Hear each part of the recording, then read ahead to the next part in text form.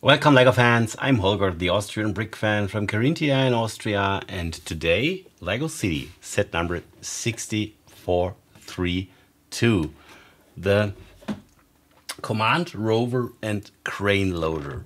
The set consists out of 700, wait a moment, 58 pieces and is sold for a retail price of 70 euros or 85 dollars. We get four minifigures, two small alien figures. I will show you directly. Wait a moment. So first we have here such small alien figures. They consist out of three parts. Looks really cool, I like it. And then we have four minifigures. First one here. Let us check if he has a second face print. No, he doesn't have a second face print, but he has on the back those uh, additional arms. So I think it's a mechanic. This is uh, typical to the new space sets from LEGO City that the uh, astronauts uh, have a specific color on what job they do.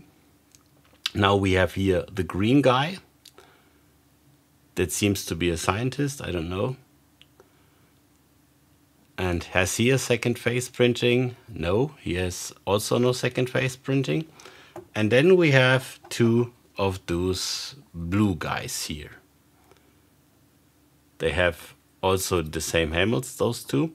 Um, all styles of helms are different, so the green and the yellow one are different from the blue ones here.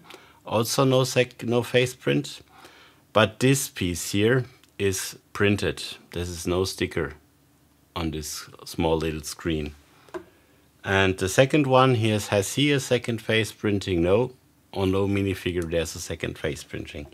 Then we have this small buildable robot. Here it is. Looks really funny, I think. And then we have the rover itself and this small planet scene that can be explored and it has this uh, functionality when you pull push this orange thing there comes an axle to the front and removes this panel here.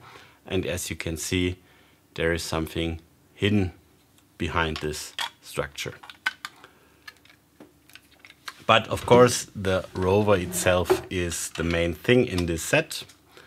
And we have here also some functions. This is the crane you can turn around like this. And of course you can move the crane in several different positions. And the crane is mainly used to change those energy packs here. On both sides you can open it and remove this one here. The crane gets takes it and lifts it up. On the other side this is the same. Then we have here in front this cockpit where at least two minifigures have space, but you can put additional minifigures more far in the back, so no problem with this. And there is this laboratory inside you can remove easily. And this part here can also connect to the modular space station I've showed you before.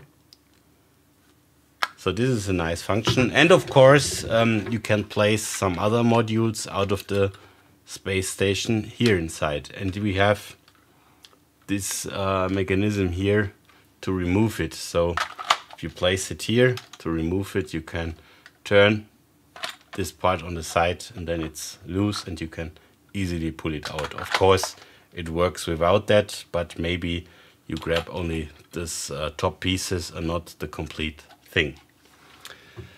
Yes, let us take a quick look at the box. Here it is. The space logo, I like it. As I said in other videos, there are several uh, space sets, not only in the city theme, also in Creator, in Dreams, in Friends and in Technic. Then we have here the instruction book. The set comes in six numbered bags.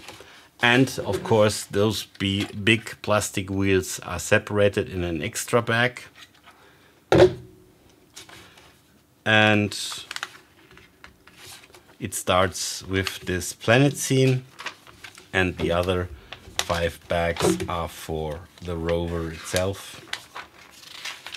In the last bag of the six, we are only placed the tires, the wheels, and you build those things that come in the tires here. So these are the main pieces in the last bag. So round about 150 pages until the set is done.